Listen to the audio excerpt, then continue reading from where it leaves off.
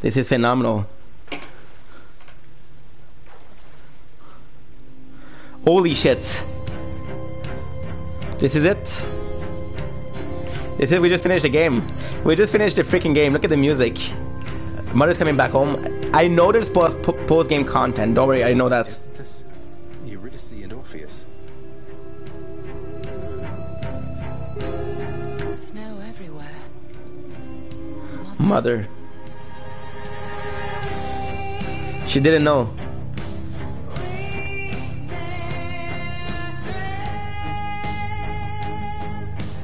Oh my god. So, as always, I'm gonna do a review of the game. I'm actually gonna do something different. I'm gonna film it. I'm gonna post it on my social, but I'm gonna keep it audio for you guys. What's up? We just finished Hades uh, 10 Escape, so spoilers ahead. Uh, the mother's coming back home. Uh, I want to get my my thought because I know this is not the perfect ending. There's some post game content that I know of, but I still want to do that. I still want to give you guys uh, the rundown, you know.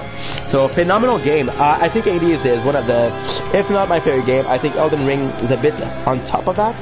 But as of as of right now, Hades is such a phenomenal game.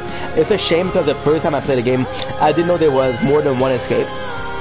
Just putting roguelite on the map. Hades is such. If you're a fan of mythology, Greek mythology, it's a game you have to play because mythology is really good. There's some time where you need to know the story uh, of Greek mythology because you kind of get a bit lost but phenomenal, phenomenal, really, really good game.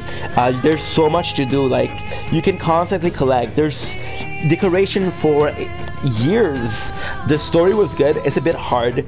Uh, I like the heat system. The heat system is uh, making the the escape every time harder the multiple multiple um, weapon and it's such a good game honestly Hades is uh, it's uh, in my top five for sure uh, this is the second time I played I'm going to be playing this for sure another time because this is phenomenal right now what we're going to do is uh, we're going to post um, post game content and uh, yeah so I'm to see you guys this afternoon with some Fortnite and some Persona 5 love you guys peace